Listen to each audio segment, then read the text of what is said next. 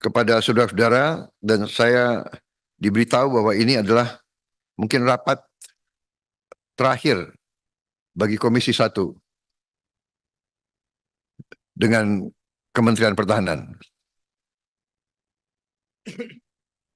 Dengan demikian, atas nama seluruh Kementerian Pertahanan Republik Indonesia, kami mohon diri, kami mengucapkan selamat penghargaan atas pengabdian Bapak-bapak Ibu-ibu sekalian dan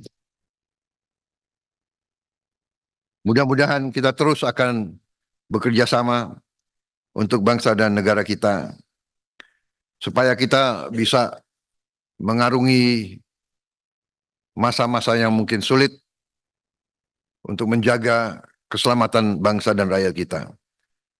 Tugas yang lebih besar menunggu kita semua. Terima kasih.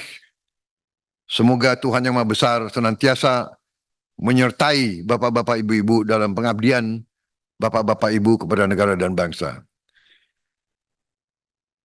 Dan semoga Indonesia selalu